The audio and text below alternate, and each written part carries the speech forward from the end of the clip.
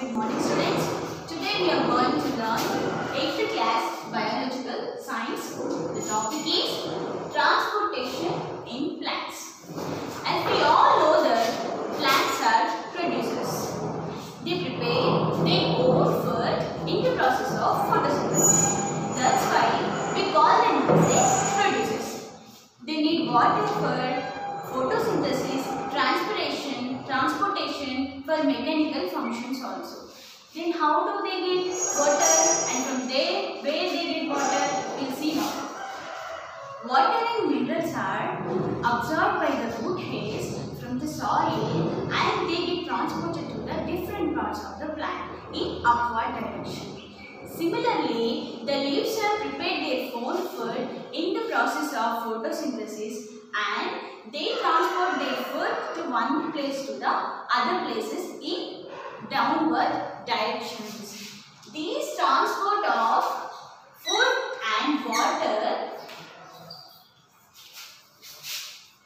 These transportation of food and water is transport done by xylem and phloems. Xylem and phloems. The xylem and phloem tissues are the transportation of food and water. Next, we will see the plant tissues. Next, we will see the plant tissues. As we all know that all living beings are made up of cells. The cells are formed as a different groups.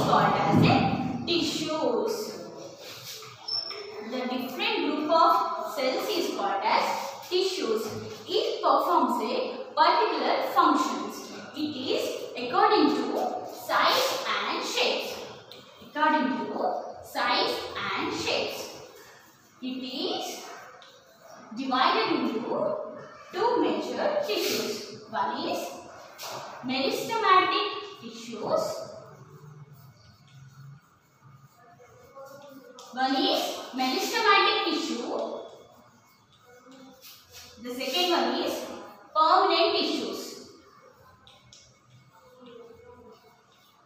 Permanent tissue. The cells are very active. These have very thin walls, so it can easily divide. It can easily divide. It has very large nuclei and it has cell vacuole also.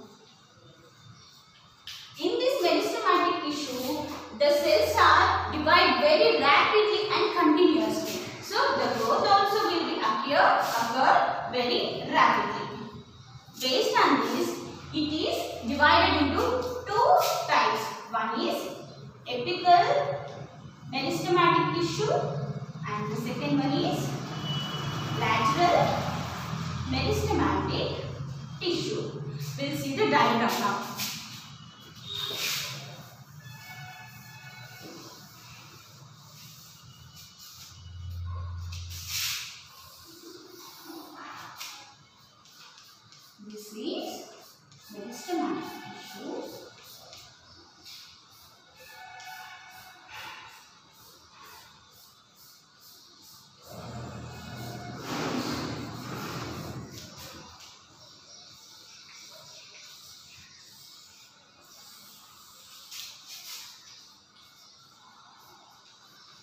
This apical meristematic tissue, the cells are present in the tip of shoot and tip of the roots.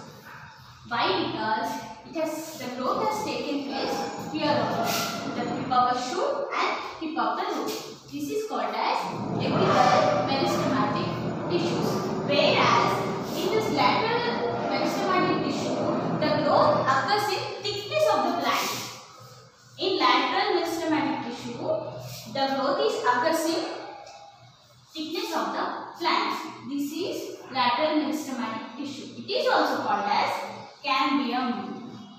It is also called as cambium. The next one is permanent tissue. The next one is permanent tissue. What is permanent tissue? It is nothing but mature meristematic tissue.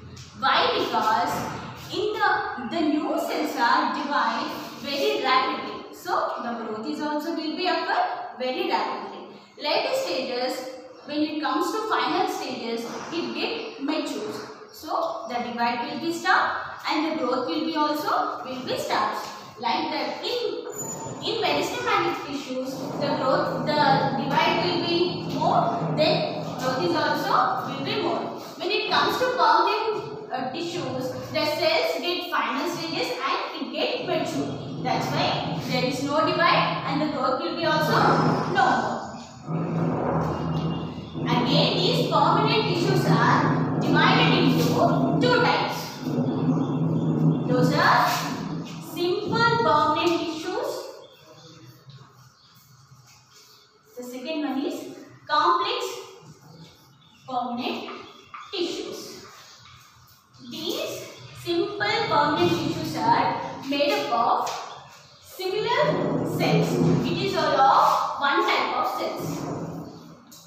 Are all one type of cells.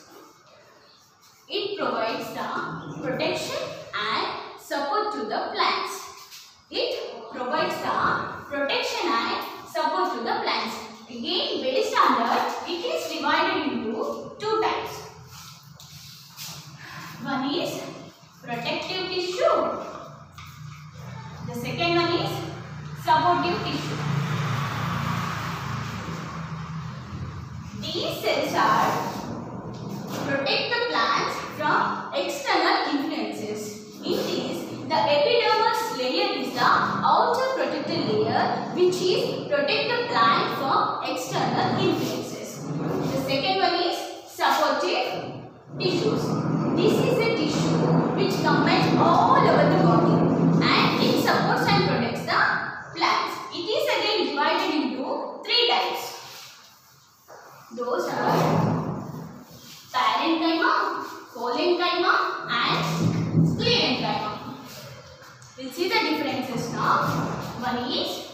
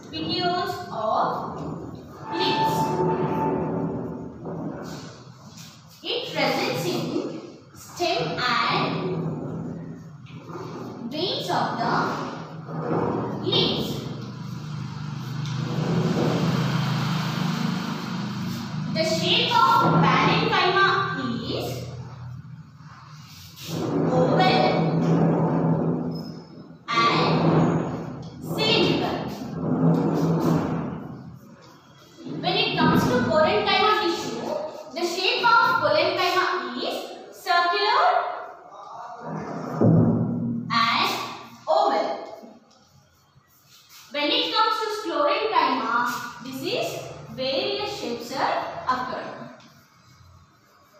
The sclerenchyma tissue has various shapes. The structure of parenchyma, it is a thin wall structure. It is a thin wall structure. So, it has a large intercellular organisms. It has a large nuclei also. When it comes to parenchyma, it has a thick cell wall, no protoplasm, lack of intercellular spaces. Why it is thick wall? Because due to presence of cellulose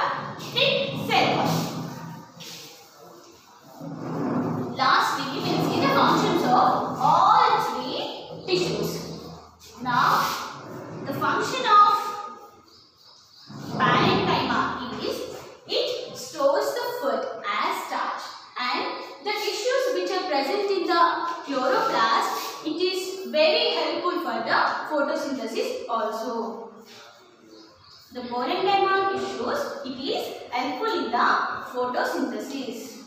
These are present in present in chloroplast. When it comes to parenchyma, it is supports the stem all over the plant. It gives the mechanical support to the plant. It gives mechanical support to the plant. This is simple permanent tissues.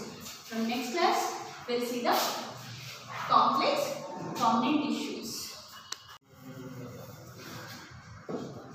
Homework. Write down definitions of definitions of diffusion